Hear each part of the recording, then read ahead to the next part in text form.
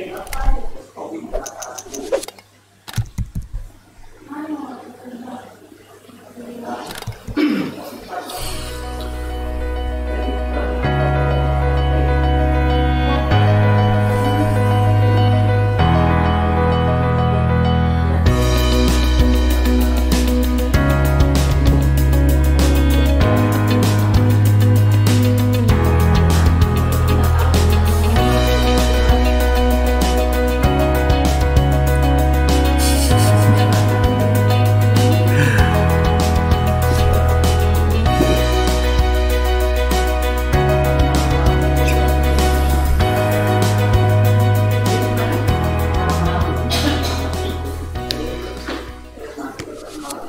Apa? Hah? Lah betul itu.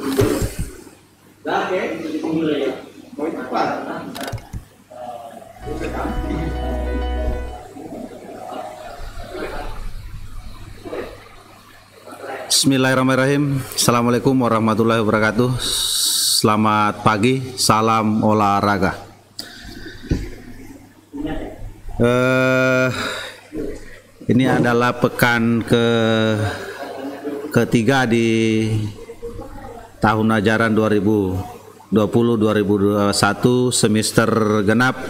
Eh, anak-anakku sekalian kelas 11 untuk hari ini eh, saya akan menyapa kalian melalui streaming eh, untuk sesuai dengan janji saya minggu dua, minggu yang lalu di pertemuan pertama untuk materi hari ini eh, saya harus memilah-milah kira-kira materi olahraga apa yang kita harus pelajari selama pandemi ini. Karena eh, tidak semua materi harus kita pelajari karena situasinya tidak memungkinkan dan saya yakin materi olahraga eh, yang bisa kita kalian pelajari masing-masing di rumah itu hanya untuk kegiatan individu. Eh, jadi hari ini saya fokus ke olahraga uji diri yaitu pencak silat. Uh, hari Selasa kemarin saya sudah share uh, materinya dan di situ juga ada tugasnya di classroom. Uh, hari ini saya hanya uh, mengulangi apa yang kalian harus kerjakan setelah membaca dan mengamati video gambar yang sudah saya yang sudah Bapak share di classroom. Jadi hari ini kita fokus di pencak silat. Jadi di kemarin saya share di situ ada video 10 teknik dasar melakukan 10 teknik dasar pencak silat yang saya sudah share kemarin. Jadi di situ ada 10 teknik dasarnya eh, yang harus dipraktekkan di rumah dan di video dan dikirim kembali melalui classroom. Yang pertama ada teknik dasar kuda-kuda. Ya, jadi di teknik dasar kuda-kuda itu ada eh, bagian. Yang pertama ada kuda-kuda depan, tengah, belakang, samping, silang, dan kuda-kuda depan dan belakang. Yang kedua ada teknik sikap pasang.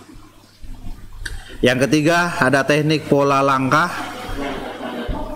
Yang keempat teknik arah. Yang kelima teknik tendangan. Yang keenam ada teknik pukulan, yang ketujuh ada teknik tangkisan, yang kedelapan ada teknik kuncian, yang sembilan ada teknik guntingan, yang ke sepuluh terakhir adalah sikap berbaring.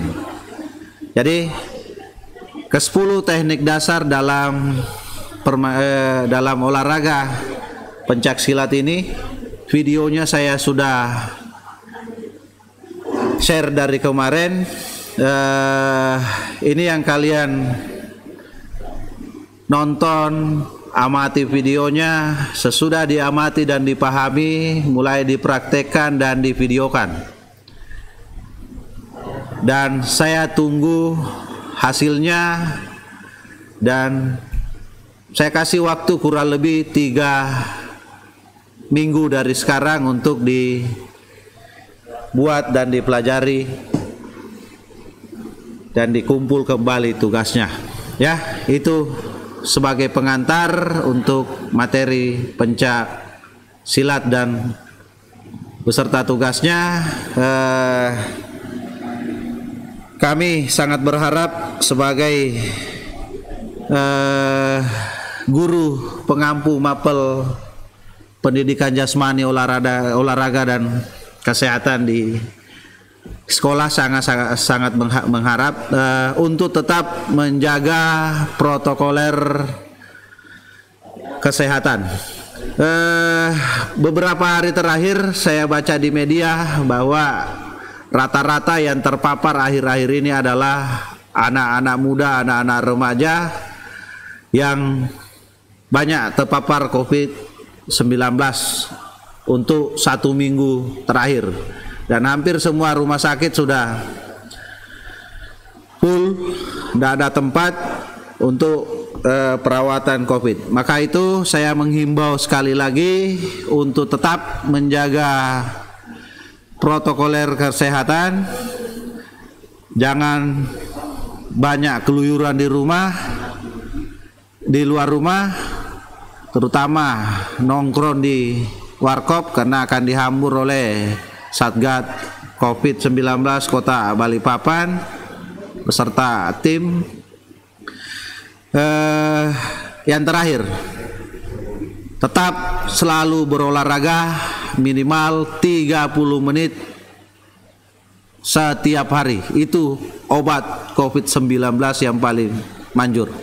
Terima kasih. Assalamualaikum warahmatullahi wabarakatuh.